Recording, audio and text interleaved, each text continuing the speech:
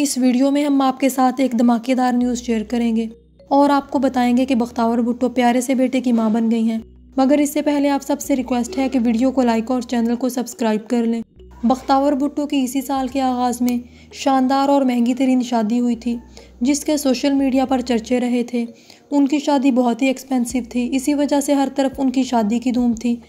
बख्तावर भुट्टो जिनकी शादी इसी साल के आगाज़ में 29 जनवरी को हुई थी अब उनके यहाँ चाँद से बेटे की पैदाइश हुई है।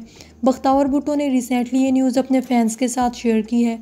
और इसके साथ आसफा भुट्टो और बिलावल भुट्टो ने भी ट्वीट करते हुए लिखा है कि अब वो ऑफिशियली खाला और मामू बन चुके हैं। आसिफ अली जरदारी पहली बार नाना बनने पर बेहद खुश हैं और हर तरफ़ मुबारकबादें और मिठाइयाँ तकसीम हो रही हैं और उनके चाहने वाले जश्न मना रहे हैं। तावर भुट्टो के बेटे के बारे में जानकर कैसा लगा हमें कमेंट्स में बताएँ। अगर आपको वीडियो अच्छी लगे तो लाइक करें, इसके साथ हमारे चैनल को भी सब्सक्राइब कर लें। मिलते हैं फिर किसी अच्छी वीडियो के साथ, तब तक के लिए अल्लाह